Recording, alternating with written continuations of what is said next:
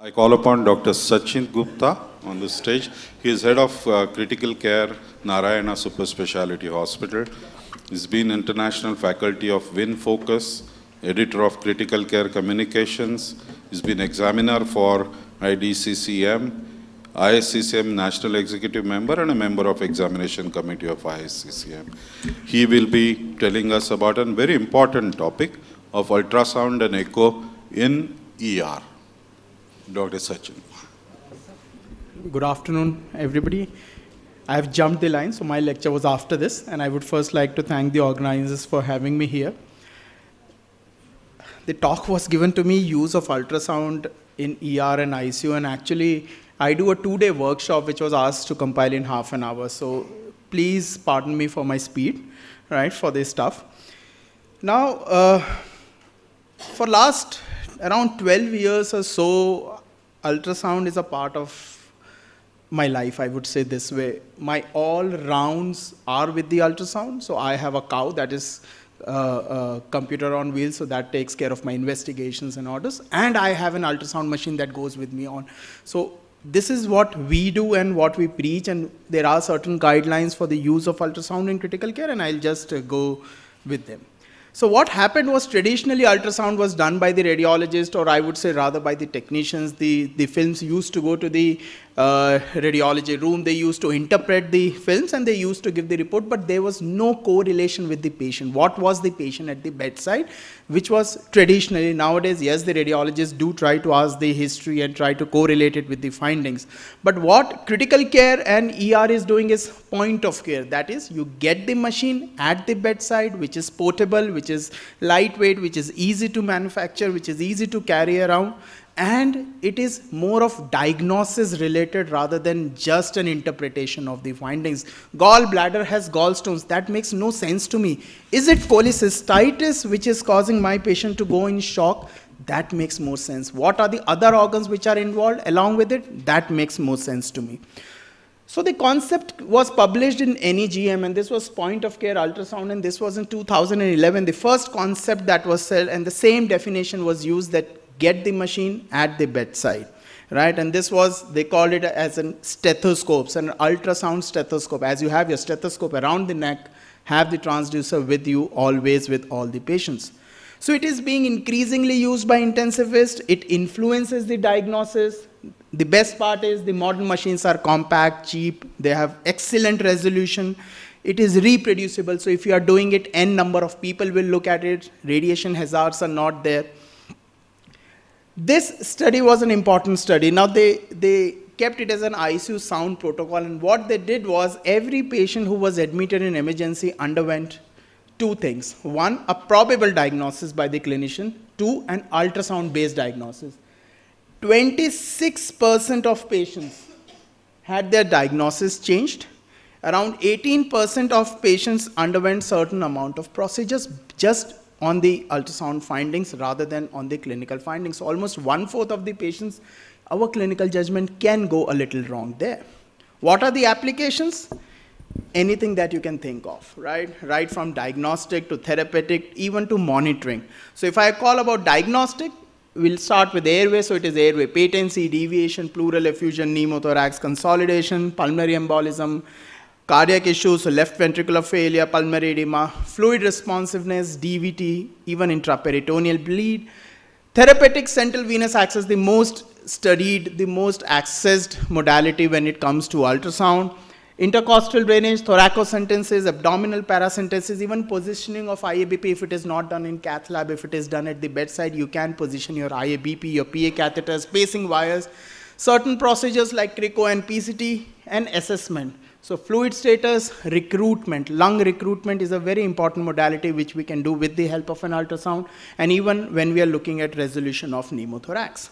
When such a kind of patient lands to an emergency and when you are not able to ventilate this patient, you are not even able to intubate this patient, so you, you would like to do a cricothyroidotomy as was told earlier, right? Uh, an emergency cricothyroidotomy. But just by palpation is it possible to understand where is cricothyroid, where is trachea? It's, it's a by chance maneuver. But what ultrasound will do it, just with the help of a probe, you keep it on the neck and try to find this kind of pattern. And this is what the ultrasound image would tell us. So this first part is the thyroid cartilage. This oval part is the cricoid cartilage. These are the tracheal rings. And if you look at this image, the cricothyroidotomy followed by a tracheostomy was done and look at the position. So just blindly puncturing the neck, probably you will cause more harm. You don't know what are you puncturing. Are you in the right track? And that is a panic situation. I tell you, when you're doing a cricothyroidotomy in an emergency scenario, it's an absolute panic scenario there. Even the best of the people would panic at that moment. So that is where the utility of ultrasound would come in. Second is intubation. As was told, is ICU intubation the same as, as OT intubation? No, not at all, right? So, capnography, yes, is the gold standard. But when we are intubating any patient, there are two concerns that is the tube in the right track? That is one. So is it in the esophagus or in the trachea? And if you say it is in the trachea, then second question is, is it endobronchial or is it bilateral? So even with the help of ultrasound, we can do that very easily. Now, this is when the probe is placed in a transverse manner over the thyroid cartilage, just below it. This part is the thyroid gland. This is the isthmus, again the thyroid gland. This is the trachea that you are seeing. And once somebody is intubating, just the other person should keep the probe at that point. If you see movement in the trachea, just the movement in the trachea, the disturbance in the trachea, you are very sure that the first question has been answered. That is, the tube is in the right tube. That is, the tube is in the trachea.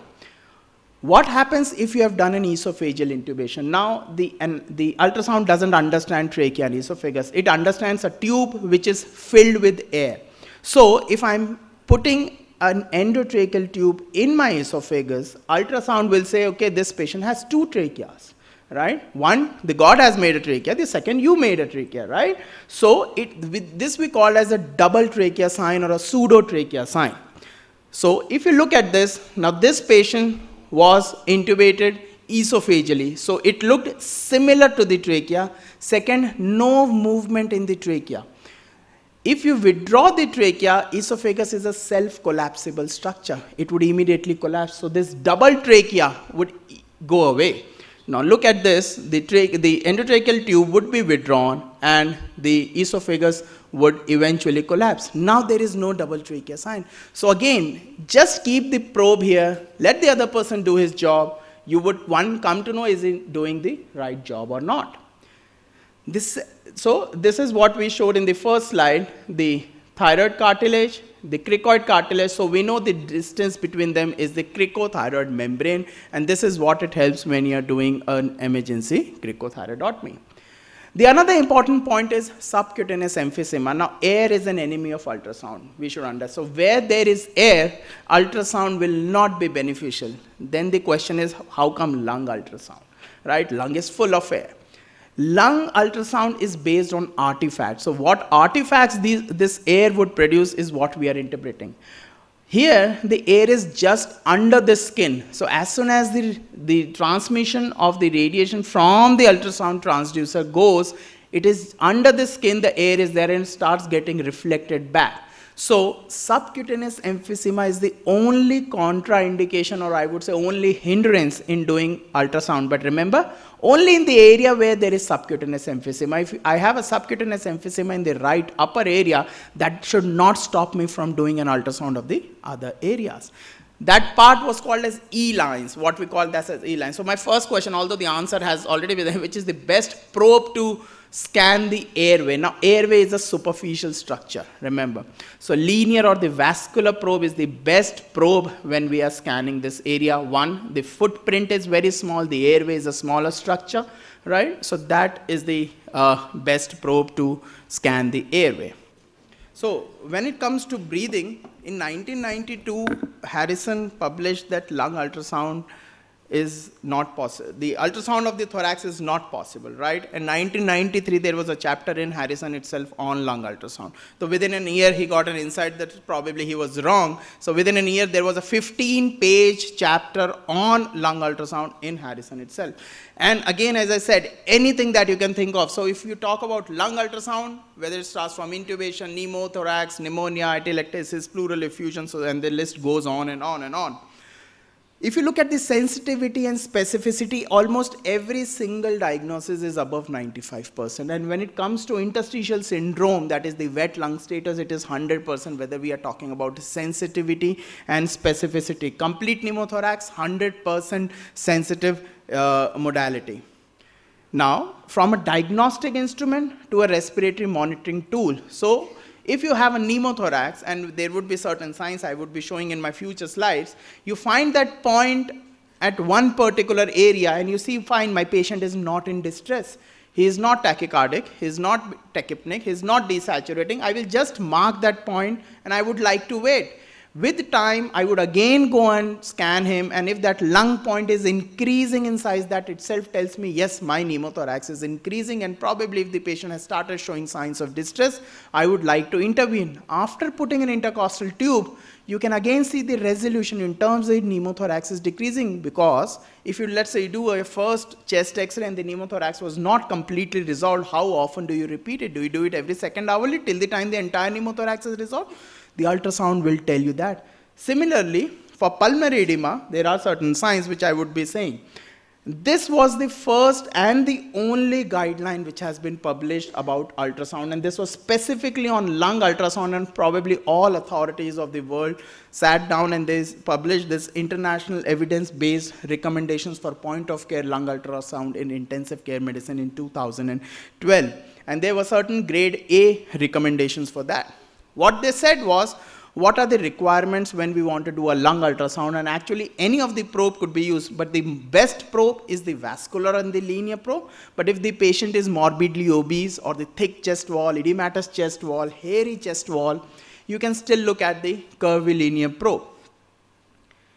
How do you scan it? You scan it in two areas. So the first scanning would start in a longitudinal pattern. So it would start in this manner Reason, you need to scan the entire chest. If you go horizontally scanning each intercostal space, you would probably take a lot of time in scanning the entire patient. So start scanning in a longitudinal manner. The area where we start seeing certain artifacts, that is the area where we would be converting our probe from a longitudinal to the horizontal axis, and we would be doing the entire examination. How do we decide which zone is that. So theoretically, we divide each hemithorax into six areas. So there would be 12 areas to scan in a patient. Lateral sternal margin, anterior axillary line, and the vertebral column. At the posterior vertebral column, you draw an imaginary line at the level of the nipple. So you have zone 1 and 2, 3 and 4, 5 and 6 on one side, similar six zones on the other side. In a walking patient, you would probably find more findings in zone 1 in an ICU or a bedridden patient, you would start finding start having findings in zone 4, 5, and 6 because they are posteriorly. Now, what happens is we hardly turn our patients to auscultate them, to examine them, but you would have most of the findings, the consolidation, the ARDS, the pleural effusions located here, and that is the area where you need to scan very fast. It follows the surface imaging technique. So if there is air, you would have in zone 1 and 2. If there is fluid, you would have in zone 4, 5, and 6.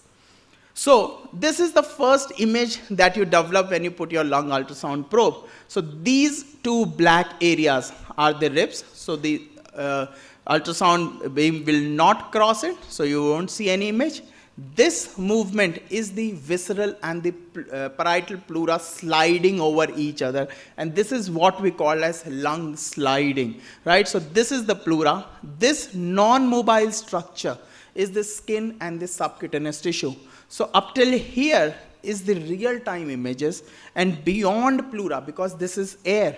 So as I said, ultrasound will not penetrate anything which is filled with air and beyond that we see artifacts. So after the ultrasound hits the pleura, we will have artifacts and lung ultrasound is purely about interpretation of these artifacts. So How do we define normal lung in an ultrasound language? We say that the pleura is sliding we say there are A lines. A stands for air. So A lines are horizontal lines and they are parallel to the pleural line. The line which was sliding, the lines are parallel to that line and we would see a sign called seashore sign. I'll show you what is that sign. So this is the to and fro movement of the pleura, what we call as lung sliding. And if I put an M mode on this, that is the motion mode, I will see this kind of pattern which is called as seashore sign. Why is it called seashore? If you see a sea from a distance, the calmer part would be the waves and the granular part would be the sand. So seashore sign. So this part which is calm is the skin and the subcutaneous tissue which is not moving and the pleura which is sliding is causing the alveoli to basically go in a jerky kind of motion and this gives rise to the sandy appearance. So this is the skin and the subcutaneous tissue, pleura and the lung and this is called as the seashore sign. This is classical for a normal lung. Yes, this can also be there in COPD lung.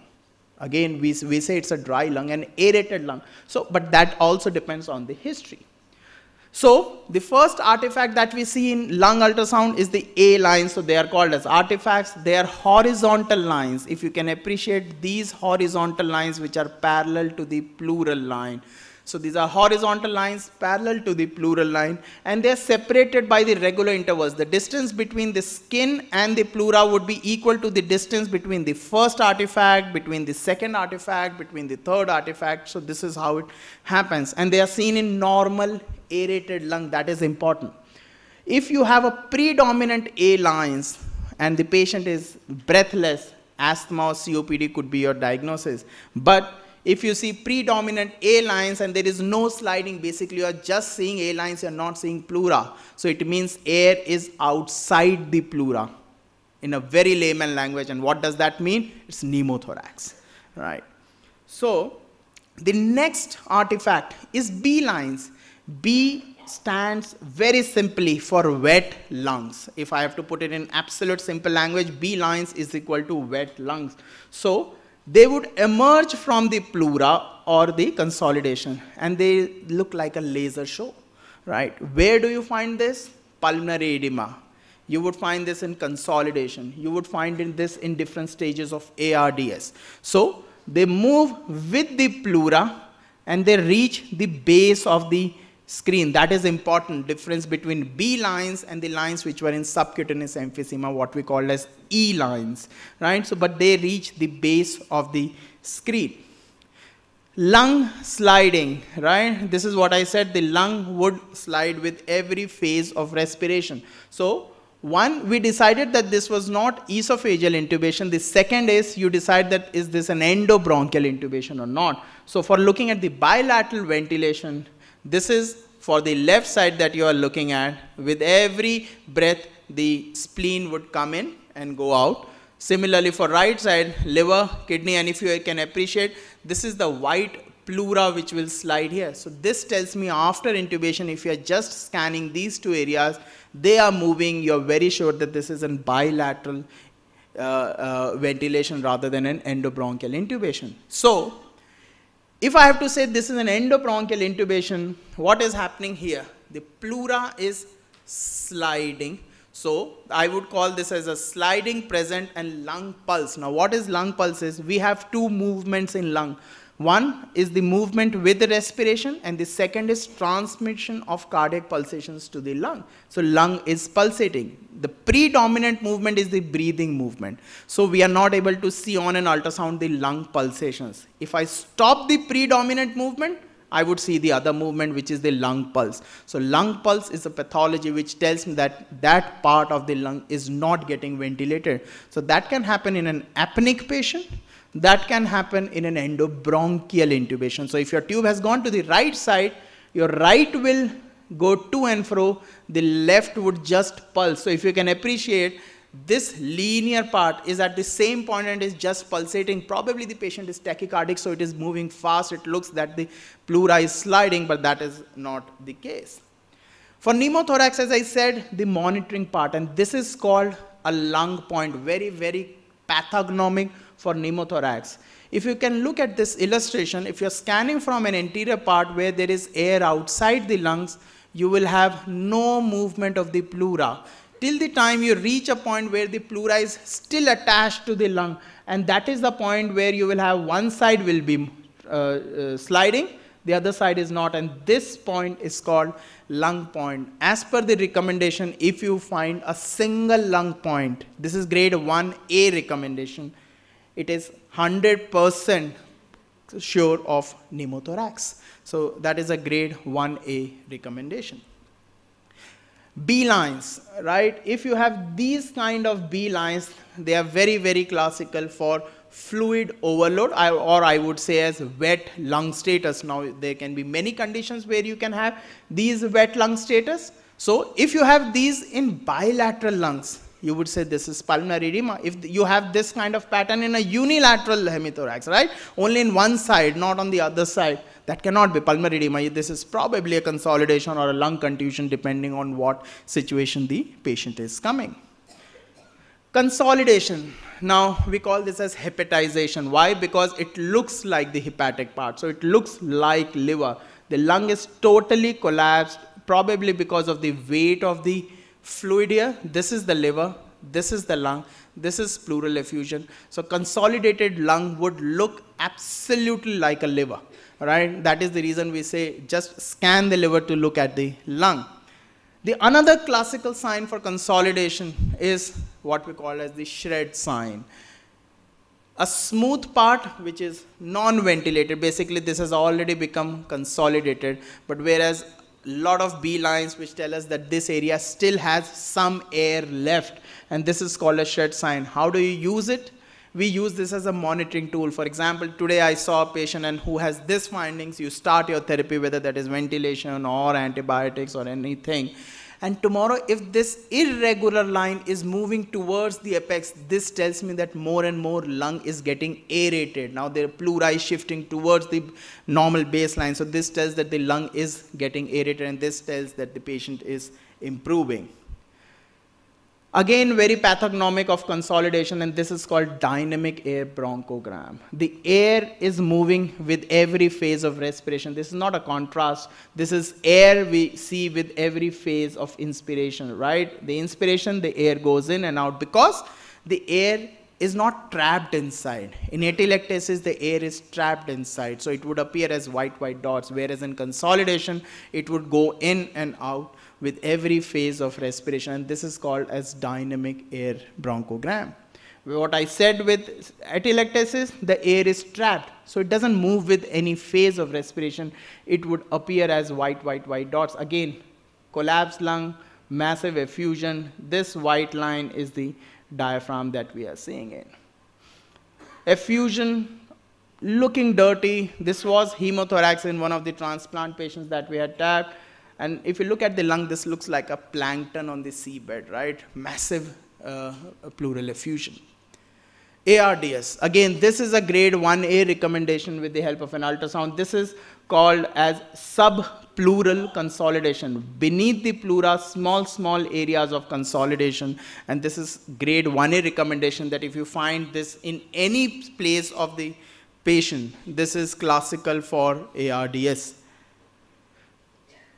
So when we look at the B lines, you can just characterize them that if the patient has acute pulmonary edema, the B lines or the wet lines or the laser-like would be totally coalesced. They would be very near to each other. Whereas if the patient has a lung pathology in terms of an interstitial syndrome, interstitial lung disease, they would be far, they would be thick in nature. So this is just a representation as in if the lines are very close to each other, you would say that this patient probably has a left ventricular failure.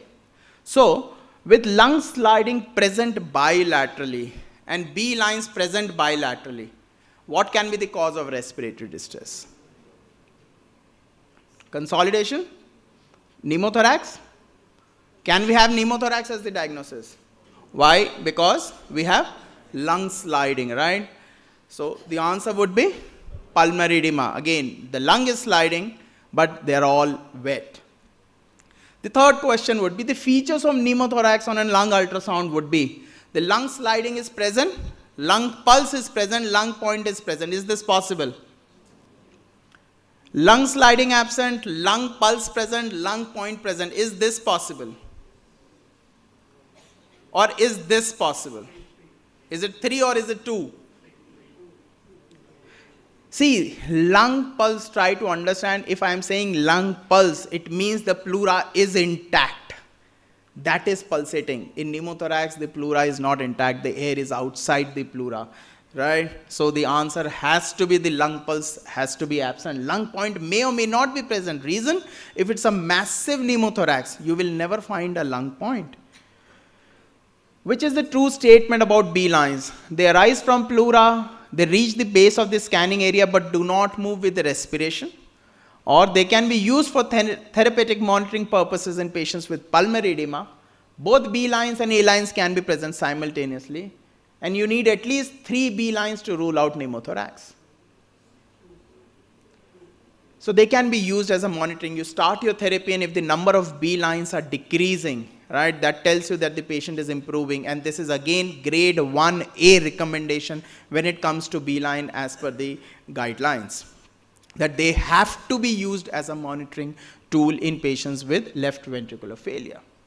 When it comes to circulation, and this is I'm not talking as a, as a, as a cardiology point of view. I would be talking as an intensivist point of view. So we call this as a cardiac ultrasound rather than echocardiogram, right? Because this is a limited examination. Secondly, the answers are qualitative and only eyeballing. We are not putting any number to it. We are not doing any major measurements to it. And the diagnose, the purpose is diagnosis. Sometimes it is very obvious. Sometimes it is not.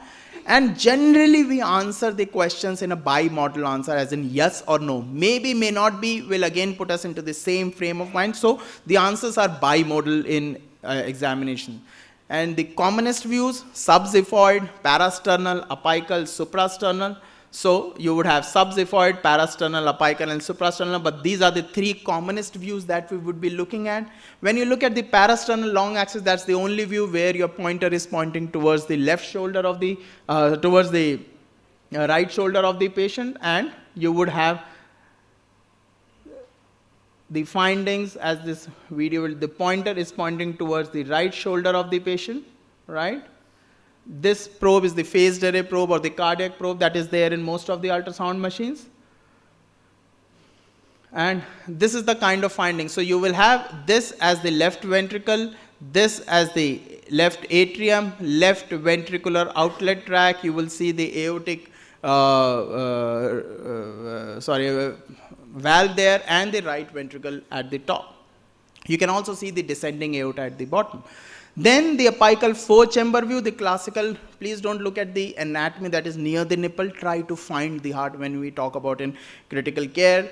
Yes, you can tilt the patient if it is possible, but on a ventilated patient with tubes here and there, it's not possible to tilt and turn the patient. So let it let the patient be there at the same posture and try to find the heart. So the left ventricle, right ventricle, left atrium, right atrium, the septum is little convex towards the right ventricle. Left ventricle will always appear bigger than the right ventricle if it's a normal physiological heart. So if I talk about eyeballing, the questions is, are all the walls of the heart moving? As an intensivist, I need to answer because if this patient is coming in shock, my DD has to be ruled out. Is it, is it cardiogenic shock? Is it obstructive shock? Is it septic shock? Or is it hypovolemic shock? So is all the walls of the heart moving? Yes. Is left ventricle appearing bigger than the right ventricle? Yes. Is the septum convex towards the RV? Yes. So these are the major reasons. Why? Because we are looking at systolic dysfunction. We are not looking at diastolic dysfunction as the cause of acute shock in any of the patients. So, as I said, for the apical four chamber, again, the pointer now would be towards the left shoulder for rest. All uh, examination, it is rest, left shoulder, just for the parasternal long axis. So, this is the kind of uh, activity you would see. So, left ventricle, right ventricle, both the valves are there.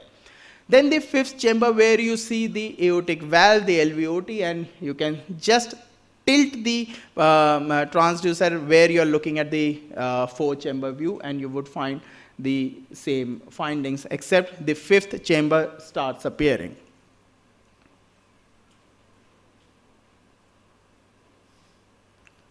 So you would start looking at the fifth chamber at this point, right? So this is the fifth chamber that we are looking at, the aortic valve.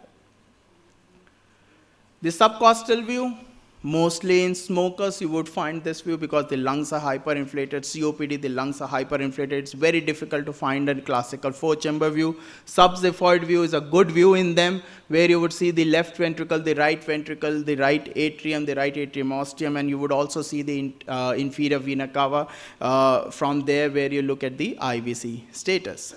So we are looking at the eyeballing movement, same the measurements. Now, if the patient is coming in hypotension, right? So how do you assess that what is the reason? So first look at the right ventricle. Is the right ventricular dilated is there a systolic dysfunction? If the answer is no, then you're probably ruling out right ventricular dysfunction causes. Pulmonary embolism would be one of them.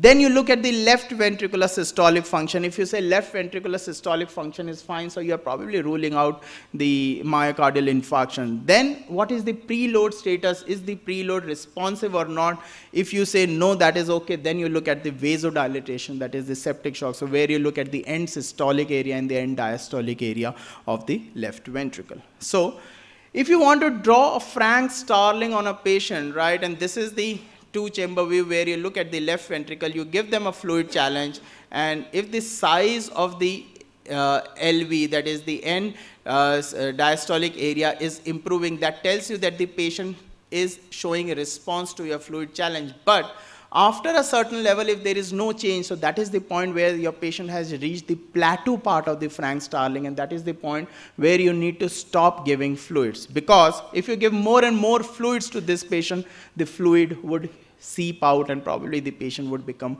hypoxemic. He would start desaturating. So if the patient is still hypotensive after an adequate fluid challenge, you would start adding inotropes.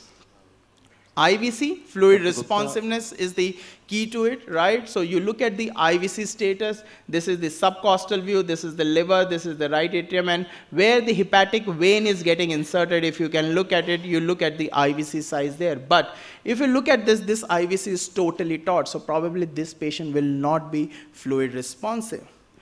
Yeah. It is also included in the CPR. Due to uh, shortage of time, you may have to run through it. I'll just take five more minutes, probably.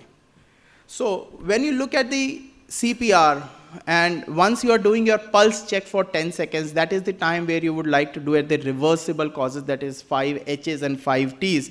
And with the help of an ultrasound, we will be able to look at the hypovolemia, pneumothorax, cardiac tamponade, and cardiac or pulmonary thrombosis just when you are doing the pulse checks. Please do not interrupt the CPR.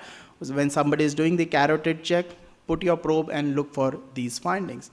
So what is the true statement about IVC assessment? Does it correlates very well with CVP? Anybody?